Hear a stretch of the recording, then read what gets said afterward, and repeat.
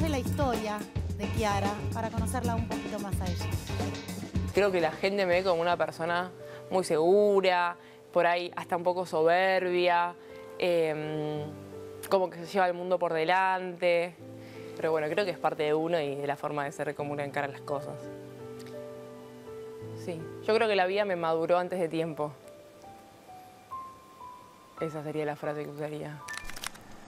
Cuando Delfina se enferma, yo estaba en primer año de la carrera ya.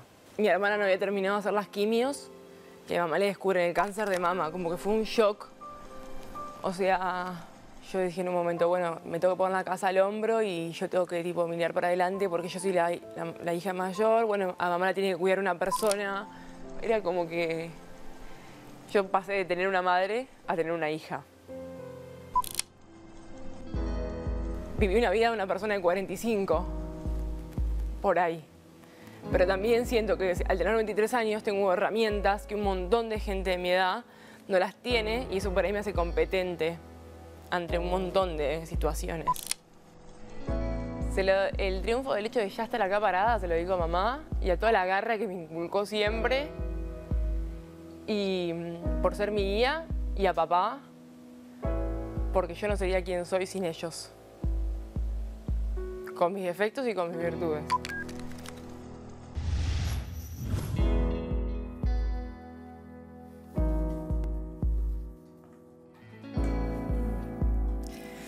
Bueno, un montón de cosas, sí. un montón, un montón de cosas. Eh, pasaste, vos lo dijiste mejor que nadie, por situaciones que... Que uno se la espera más adelante en la vida y por ahí con... Yo no tengo mamá. Que con tu corta edad, claro. Sí. Pero bueno, eso lo forman a uno, creo. yo digo que somos experiencias y la muerte, la vejez y las enfermedades, dicen los budistas que son grandes maestros en esta vida y que si uno lo sabe escuchar, aprende. Entonces, que a mí me ha pasado cuando soy chica, lo tomé como una enseñanza. Porque por ahí a mis amigas no le pasaba lo mismo. O sea, cuando yo estaba, tuve que decidir si un día me acuerdo que salía de la facultad y la fui a ver a mamá. Y me decía, Kiera, no tengo mucho dolor. Yo sabía que lo que seguía de ese calmante era la morfina. Y con 22 años por ahí tomar esa decisión, hay un montón de gente que no la tomó y no sabe lo que pasa. Y me hubiese gustado tampoco tener que pasarlo. Pero te forman y te dan herramientas para eh, ver la vida de otra manera. Está buenísimo que te quedes con eso, con, el aprendizaje, ¿no? y con la persona que sos la persona que sos y la persona que fuiste, porque también todo el tiempo somos seres que tenemos la libertad de elegir. Y vos elegiste estar, elegiste acompañar, elegiste eh, ponerte al hombro la situación de tu hermana y la situación de tu mamá y estar ahí. Eh, y eso fue una elección tuya. Y eso es lo que te construyó a vos como persona. Mm. ¿eh? Y eso es, es inmensamente valorable. Y ahora te, entiendo que, tenés un desafío nuevo por delante, porque sos muy joven para haber pasado cosas tan, tan fuertes y, dolorosas.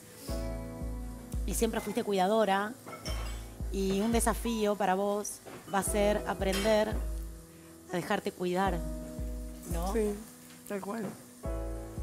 Eso lo vemos acá en la competencia, esta, esta Kiara que, que tiene que poder con todo. Tal cual, sí, yo, siempre tuve que poder. Pero bueno, es la vida y cada uno.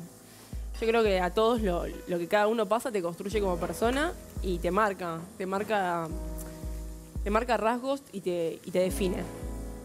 Entonces, quizás tengo una forma de ser que uno por ahí lo ve de afuera y te prejuzga, pero no conocen todo el resto. Y es muy fácil prejuzgar sin conocer.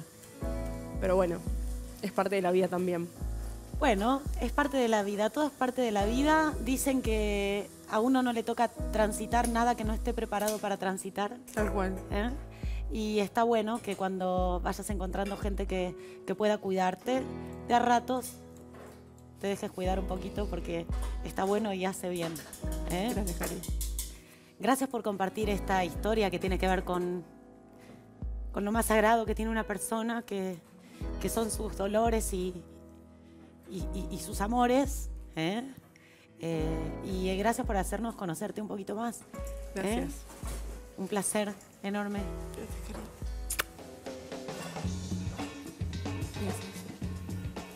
Gracias a ustedes por estar ahí, por, por, por dedicarse un momento a, a conocernos, a conocerlos, que tienen, tienen historias, historias de todo tipo.